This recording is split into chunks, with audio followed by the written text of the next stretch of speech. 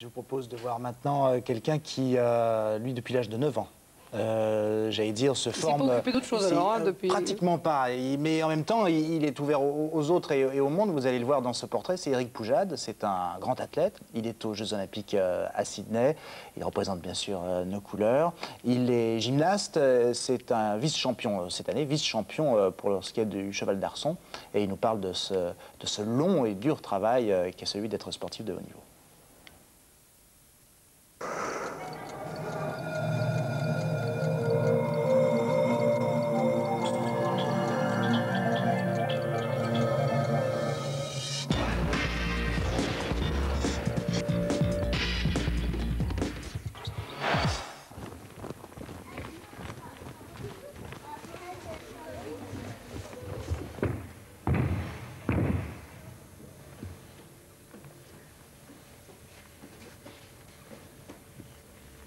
A qu'à partir de 19 ans, finalement, ça faisait déjà 10 ans que je faisais du sport, que j'ai commencé réellement à prendre du plaisir, à, fixer des objectifs, à, les réaliser.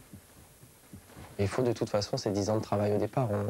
On ne devient pas un champion comme ça euh, du jour au lendemain.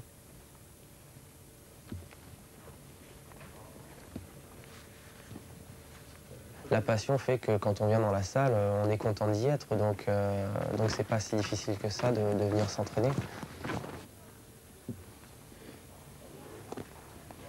C'est quand même difficile. C'est difficile de venir tous les jours, 6 heures par jour. C'est pas tous les jours rose.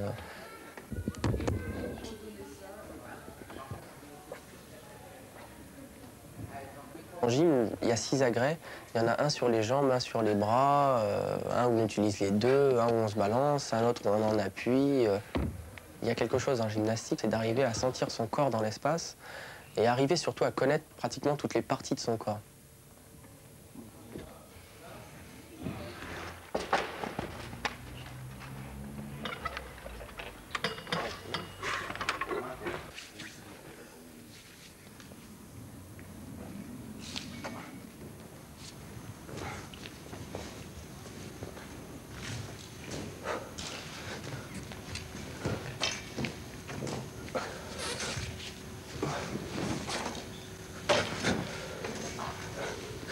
Allez.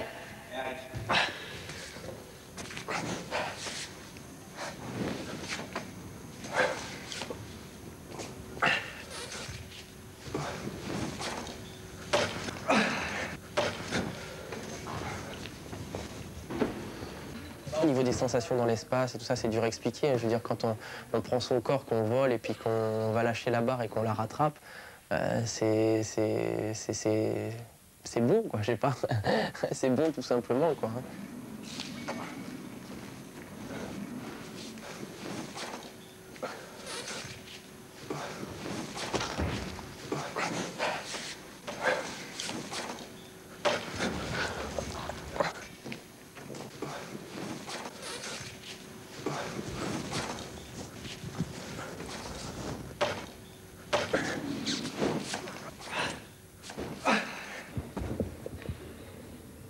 Hein. C'est mieux. J'ai encore l'impression que les épaules passent un peu devant là, j'ai du mal à, à pousser ma barre après.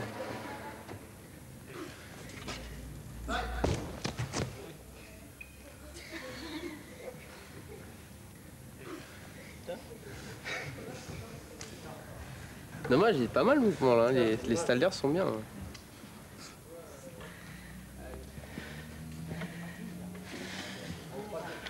Putain.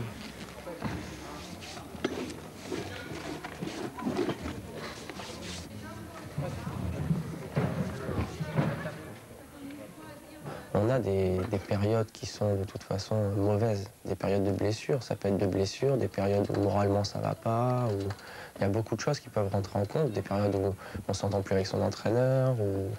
Alors il faut soit savoir changer, soit, savoir tout analyser, surtout savoir se remettre en question.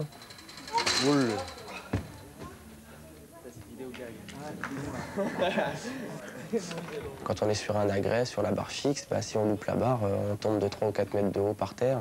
Euh, si on tombe sur la tête, il est évident qu'on aura du mal à se relever. Donc euh, il faut faire attention à ça et donc rester concentré dans tous ces passages-là. Je me casse un tendon d'Achille euh, huit mois après, je fais une médaille au championnat du monde. je tombe au jeu, je relance ma carrière. Ça, je l'englobe un peu dans, la- dans- dans les mêmes qualités. quoi. C'est c'est le fait de, de vouloir toujours aller finalement de l'avant et, et de ne pas pleurer sur son sort. Ou je pense qu'il faut avancer, avancer, et c'est comme ça qu'on y arrive. Pas mal, là. Encore un petit peu le- les épaules en avant, ça.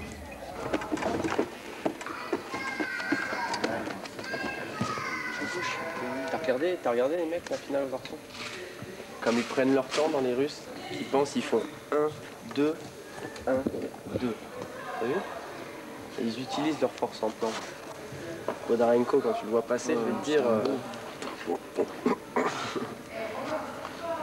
Essaie de penser tout le temps, de respecter cette, ligne des mains. Là. Une là, une là, une. Je trouve. Hein? Je trouve. Ah donc après, t'as les épaules qui t'emmènent et t'as le bassin qui est là-bas. Donc, euh, bah, tu cours toujours après. Moi, on n'aime pas trop ceux qui, ceux qui tirent au flanc, ceux qui ont tout le temps des excuses. De toute façon, ces gens-là, généralement, se font vite exclure du groupe. Parce qu'on on ne peut pas travailler avec quelqu'un qu'on doit trop traîner. Parce que c'est assez exigeant comme ça, comme le sport, justement, pour pas avoir des gens qui soient toujours en train de pleurnicher derrière soi. Quoi.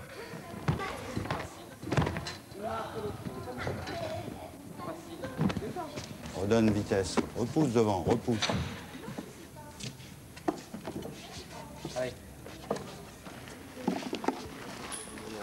On va se préparer souvent presque un an avec des stages de trois mois ou quatre mois à, vraiment beaucoup travailler tous ensemble pour un objectif qui sera un championnat du monde.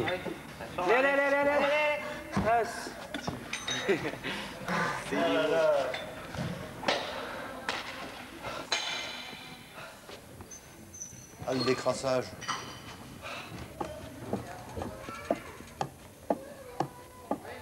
Le jour d'une compétition, ça se passera jamais comme on l'a prévu. De toute façon, il y aura toujours quelque chose de différent. Trois minutes de retard, un juge qui lève pas la main, euh, je sais pas moi, pas de magnésie, on sait jamais. Il peut toujours arriver quelque chose. Et je crois que quelqu'un qui psychologiquement a vu sa compète et finalement l'a presque déjà vécu, euh, le jour où il y est, il est tellement concentré, il est tellement euh, dans un, un état second, je crois que rien ne peut le gêner. À partir de cet après-midi, vous êtes en compétition et vous y pensez jusqu'au bout. À 16h30, on démarre le premier agrès. Ceux qui ne font pas tous les agrès respectent euh, l'échauffement à l'appareil prévu, c'est-à-dire qu'ils attendent vraiment avec le collectif. Vous connaissez tous nos objectifs et coûte que coûte, euh, il faudra l'atteindre. C'est trop important pour la suite euh, de la saison et les années à venir. Donc ne négligez aucun détail. Voilà, 15h30 précise. Merci.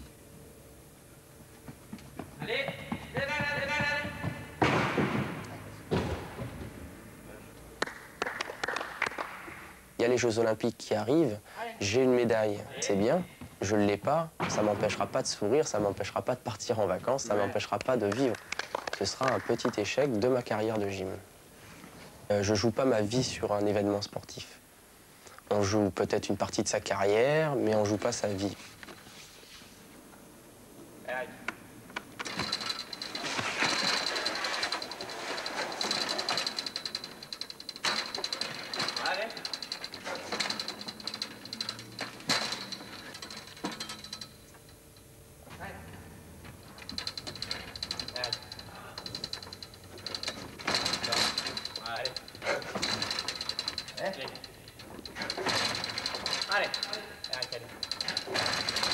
Direct en bas. Allez. Allez, fort. Allez. Allez. Allez, allez. Allez. Nom de Dieu.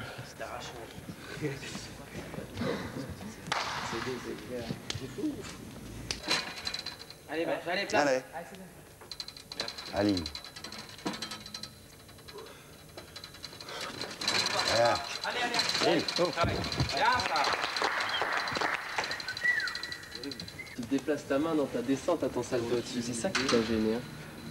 T'as bien réagi derrière. hein. T'as vu, hein, ça suffit, même balancer, il part, euh, c'est bon. hein. Comme ça, si tu l'attaques ta barre, tu verras, il a pas de problème.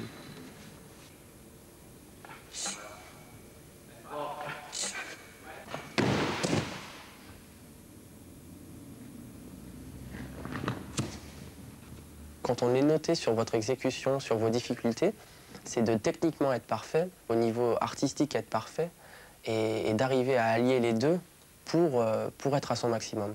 Quand on y arrive à l'entraînement et qu'on arrive à le reproduire le jour J, Yeah, c'est ça c'est- fort, ça c'est extraordinaire.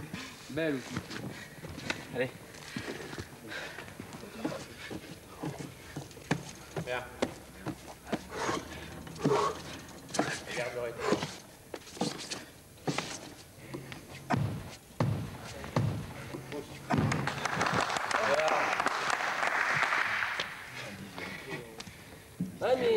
Pas Ligne de trop rigoler réception, parce garçon. que... Il faut savoir se présenter au juge. Je veux dire, quelqu'un qui se présente la tête basse, le bras comme ça, euh, je veux dire, il part déjà, le juge, bon ben, il se dit, lui, il a, il a pas confiance en lui. Quelqu'un qui se présente, qui, qui a la tête levée, qui est droit, qui se présente le bras fier et qui regarde le juge dans les yeux, le juge, il, il- il vous respecte déjà avant que vous preniez la grecque. quoi.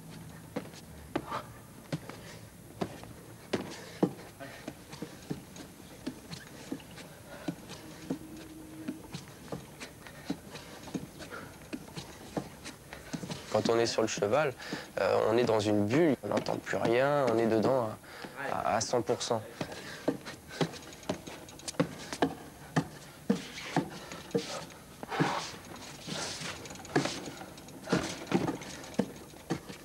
Allez, allez. Allez, allez, allez, allez. allez.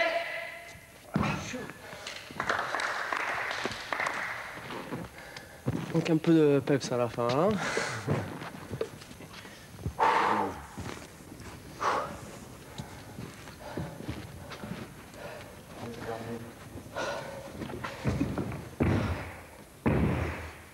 Une chose que j'aimerais changer, c'est euh, le top, ce serait qu'en gymnastique, finalement, on puisse prendre dans l'année, je sais pas, un mois de vacances, quoi. Ça, ce serait cool. À la compète, s'il y en a un qui fait une chute et qui après se démotive et me fait trois ou quatre chutes, je jure qu'il dégage de la salle. D'accord? Parce que un truc qui peut arriver, c'est que toi, tu passes premier en fixe, t'as fait deux chutes. Imagine, tu te décourages, t'en fais deux, trois, quatre, comme c'est arrivé un peu l'année dernière. Je veux dire, derrière, faut qu'il y en ait plus un qui loupe, quoi. Parce qu'après, on n'aura plus le droit à l'erreur, on n'aura plus de marge d'erreur. Et il faut pas que ça arrive, ça. Important, ça, les gars, d'accord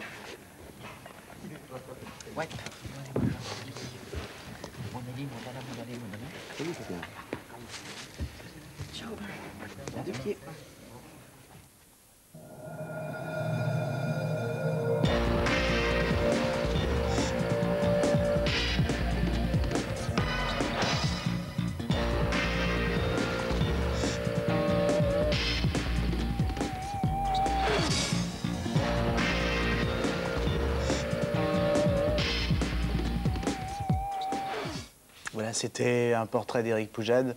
Euh, sur la motivation, sur le moral, c'est très important chez les sportifs. Euh, Est-ce que ça l'est également chez un artiste? Euh, oui, mais enfin, pas de cette manière quand même. Je veux dire, on, a un point commun avec Eric Poujade et moi. en tout cas, c'est que c'est pas super grave tout ça. Je veux dire, c'est pas une question de vie ou de mort. Effectivement, on a toujours des rendez-vous. Alors, c'est pas le même investissement, euh, euh, justement, de, de concentration et de, de préparation physique, mais euh, quelque part, il y, a- il y a toujours ce truc de se dire c'est important, faut pas que je le rate, c'est important pour ma carrière. Puis au bout d'un moment, il y a toujours quelqu'un qui vous ramène à la réalité en disant eh oh, ça va bien, quoi. C'est pas une question de vie ou de mort. Et de fait, ce n'est jamais une question de vie ou de mort. Et je crois que c'est un bon moyen aussi d'aborder les choses plus sereinement, de se dire ça. Le sport, vous disiez que la gymnastique, ça fait partie des choses que, qui vous plaisent de- à, à regarder. hein. C'est sans doute la seule chose que j'ai quasiment toujours regardé des Jeux Olympiques, euh, parce que c'est très beau. Effectivement, il a raison, c'est beau. Quand un, quand un, un athlète, j'allais dire un acrobate, mais c'est un peu ça aussi, euh, effectivement lâche une barre et puis fait un triple saut périlleux et rattrape tout ça au vol et hop là, et ça c'est. C'est assez impressionnant. En fait, c'est très étrange parce que quand on les voit, on n'a pas l'impression, on ne sent pas le travail qu'il y a derrière. C'est 6 heures d'entraînement par jour, c'est imagine, 10 hein. ans. euh, mais euh, pour laisser pas seulement au spectacle. Si vous n'avez jamais eu l'idée de, de vous pendre des anneaux, euh, par exemple, fois, comme ça, c'est- c'est monstrueux, personne ne peut faire ça. Enfin, c'est un truc infaisable. Donc on comprend qu'il y a du boulot quand même. hein. Oui, mais on ne le voit pas. Au moment du spectacle C'est incroyable. Mais ne oui, mais c'est pour ça que j'ai presque fait un lapsus avec Acrobat.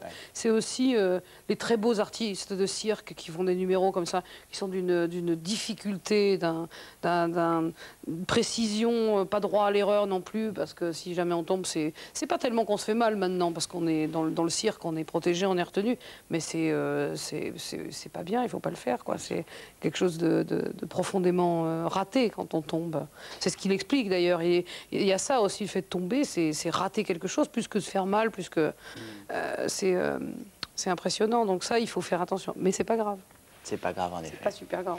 Cela peut l'être en tout cas de ne pas passer éventuellement, si vous êtes sur Paris, euh, à la conciergerie les 29 et 30 septembre, les 1er, 2 et 3 octobre, puisque Juliette vous donne rendez-vous dans la nudité de ces mots venus d'un autre temps. C'est euh, des contes drôlatiques et érotiques du habillée Moyen quand même, Âge. Mais vous serez habillé quelque peu. habillé par la lumière, sans doute. Oui, C'est donc à la conciergerie. Et puis je rappelle également que Assassin sans couteau Oui. euh, est un album que l'on peut toujours trouver, euh, comme tous les autres d'ailleurs, que ce soit Rime Féminine ou encore euh, les deux pianos avec, avec Didier Goret. euh, vous avez la possibilité donc d'écouter Juliette. C'est comme ça qu'on connaît le mieux un artiste. Sinon, rendez-vous lundi pour les écrans du savoir avec Elisabeth Chungui. Merci encore infiniment, Juliette, d'avoir avec été avec grand nous. plaisir, Olivier. Merci à vous de nous avoir suivis. Bon week-end et à la semaine prochaine.